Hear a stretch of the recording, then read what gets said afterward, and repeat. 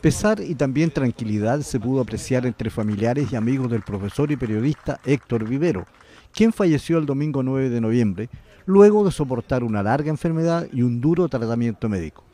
El Cacho, como era conocido, nació en la oficina saliteraria Victoria hace 59 años y dejó como legado a sus hijos el cumplir con los sueños, como ellos mismos recuerdan.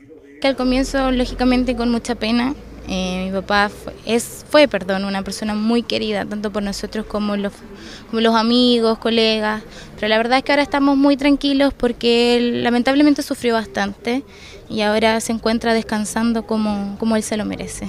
Vivero se tituló como profesor en la Universidad del Norte C de Iquique y como periodista en la Universidad del Mar. Aunque desempeñó ambas profesiones, en el último tiempo solo se dedicó al periodismo en diversos medios y como director del diario El Longino.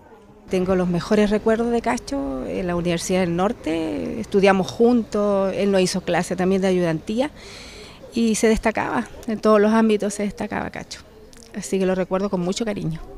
Héctor Viveros deja junto a su viuda siete hijos y dos sobrinos prohijados a la muerte de su hermano y le suceden también diez nietos.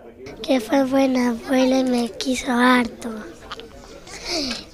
Y también que eh, fue amoroso conmigo hombre exigente en el plano laboral y de su apasionada actividad de comentarista deportivo, sin embargo, esas características le destacan de manera positiva. Y siempre fue un gran jefe, era exigente sí, pero por el, era exigente en el sentido de que quería lograr un buen producto y lo lograba con su con su estilo de trabajo. Nosotros como institución queremos reconocerlo a él, era una, una figura mítica en, los medios de comunicación iquiqueño y tanto en, el deporte de Iquique, así que como directiva queremos estar presentes en nombre del cuerpo técnico de jugadores que en este momento no se encuentran en la ciudad, venimos nosotros como dirigencia a darle el último adiós también y, una, un, un momento también de dar nuestro pésame a su familia. Los restos de Héctor Vivero serán sepultados el martes 12 en el cementerio Parque del Sendero, luego de una misa que se oficiará en la iglesia catedral a las 11 horas.